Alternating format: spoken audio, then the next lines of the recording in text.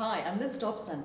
I've been a motoring writer for about 25 years now. I know you think I started when I was a teenager, but I didn't. Actually, for the past eight and a half years, I was motoring editor for the New Zealand Herald until I left and I met up with Matt and we started automuse.co.nz. It's a motoring lifestyle website where we have bespoke content and it's all shot at this amazing farm that Matt owns in the west coast of the North Island, just out of Auckland. Um, hey Matt, how you doing? Good, Liz. Actually, we met here at the farm. Do you want to tell people about that? So Liz and I met at the launch of the Rolls-Royce Cullinan. Yeah. And I, we had mutual friends, so I went up and said, Hi Matt, how are you? And then what did you say to me? Well, I said to Liz that she had the job that I have always wanted, which was a motoring journalist. So I think I actually offered to Liz that I could be her cadet. And now look what happened.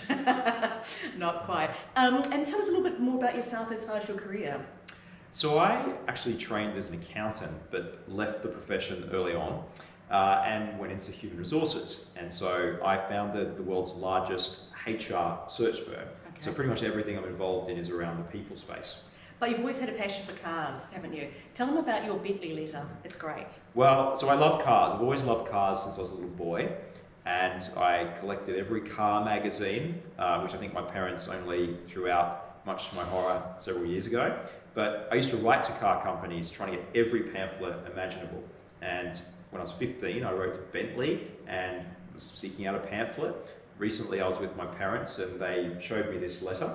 And in the letter, I said, one day I'm going to own a Bentley. And uh, I do now. Excellent, that's great. And um, what do you think is happening right now as we're coming out of COVID 19? What's going to happen in the motoring world, do you reckon? Well, I think we're in for a lot of change. So EVs will become more popular. Mm. Yeah, at the moment in New Zealand, as you know, um, new EVs start from 60, which is quite expensive. But for the next couple of years, we're going to see more and more EVs coming into New Zealand. That price should go down, like sort of VW, etc. will push the price down, which will be great. We're in a great position in New Zealand for EVs. Um, now, with your business, you the new normal, as you we all know, is working from home, but you're ahead of the trend. Tell everyone about that. So I have always had my companies exist as virtual um, businesses. And I think what we've been through in New Zealand through this period has had everyone virtual. And my greatest wish is that we don't just go back to being completely physical uh, in an office. Uh, so I think what I imagine is a bit more of a hybrid solution where people can be in an office, but they can also work from home. And I think the key thing is that leaders need to support and encourage this. And yeah. we need to get away from the approach that work is just done in an office. And what about some advice for the motoring companies? What do you think they should be looking to do? I think that it's important to value relationships. This is a really important time to be talking to those people that you care about and not so good of a time to be just doing general cold marketing. Yeah, exactly. Um, what else are you up to? Well, I'm training for an ultra marathon, okay.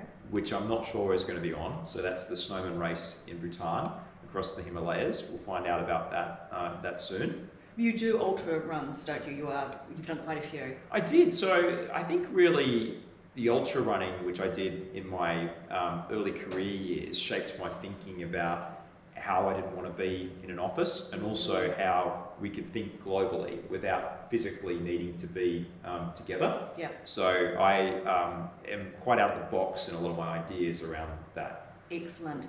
And what about some ideas that you have for AutoMuse? Well, I'm super excited by what lies ahead for AutoMuse, simply because we get to drive all the latest and greatest cars, and hopefully I, that will stop me buying them as well. but uh, really, we want to be different. So, very much getting into people's garages around the country, hearing uh, interesting stories and telling those stories. Uh, I have a particular interest in the ultra modern, but also the classics. So the future and the past. So I'll be particularly looking at classics. Exactly. So go to automuse.co.nz, subscribe, and um, see you later, family. Bye. Bye bye.